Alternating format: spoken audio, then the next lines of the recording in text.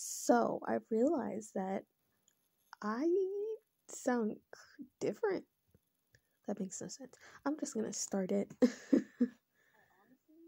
oh snap! Hold on. Oh no! Stop. Okay. Oh, I'm nervous. This is so nerve wracking. But I don't even know why I'm doing a voiceover for this piece because it doesn't need one. Does it? I guess I just wanted something else other than music. But like now that I'm thinking about it, I really didn't need to do this. I could have just like chilled and put music over it and called it a day. Anyways, so I'm watching the um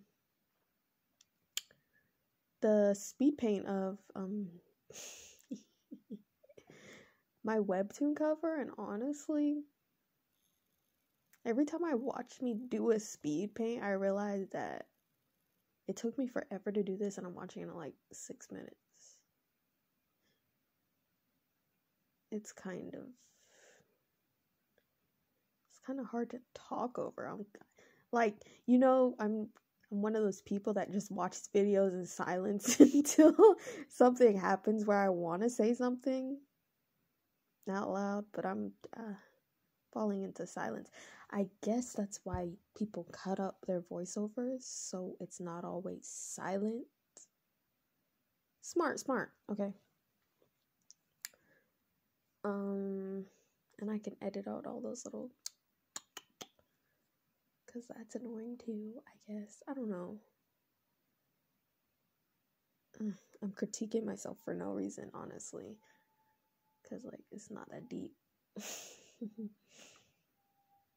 oh, but I guess I should talk about how it all started. So, all this started because I want to make a webtoon called Witch Doctor, which is basically about this girl who didn't know that she was a witch until one day she had like this huge accident at school or I think it was over summer. I don't remember. But like there's this accident where she has to like leave so her parents can like keep the secret of the family in the magical world. So she has to go live with her grandma.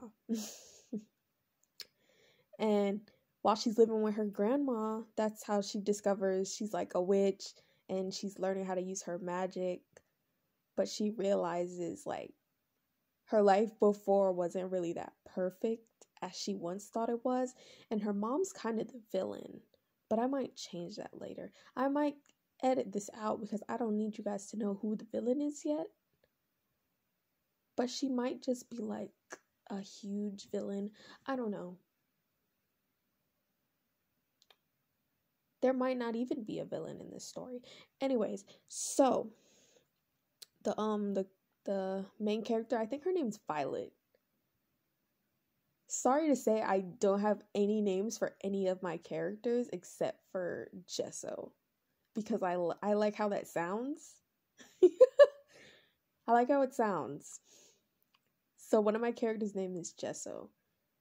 I don't think I I think I should do um an um uh, OC lineup with all these characters for this webtoon. That would be cute. But yeah, it's just like a slice of life of um Violet learning to, you know, come with her witch powers and get over her little trauma and everything with her mom. Because her mom does cause her trauma. Like in the speed paint, you'll see that on one side she has um a clear face and the other side she has freckles. I don't know if I like the freckles because like it kind of looks like dirt. it does look like dirt every time I rewatch this. I'm like, does it look like dirt? Should I change it? But aside from that, it's kind of like, oh, I have to like be pretty, you know, no flaws. Can't make people see my freckles. I'm like the girly girl, the popular girl. She's a Heather. That that's what it is. She's a Heather.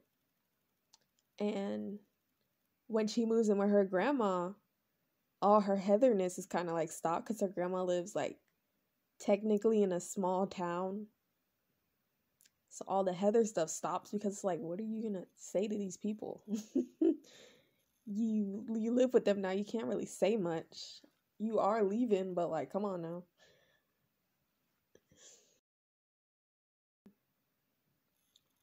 I guess I can talk about the color schemes. Um, the color schemes are very wishy-washy. Even her skin tone, I uh, like the first part of it. I couldn't get her skin tone down because I was just like playing with colors. So yeah. I guess one side is a lot more magical and like free with different kind of colors, lots of bright colors. And then the left side is like makeup, girly girl, lol, da da da, all that foolishness. Can you tell I'm not a girly girl? Yeah. Um, yeah, and that's about it. I don't think I really did anything crazy. I just wanted to show magic and fun and girly and fun, I guess. Girly and fun can be the same thing too. I don't really know the story yet, but it's going to be a slice of life and it's going to be fun. So that's hopeful, I guess. I don't know. Anyways, bye.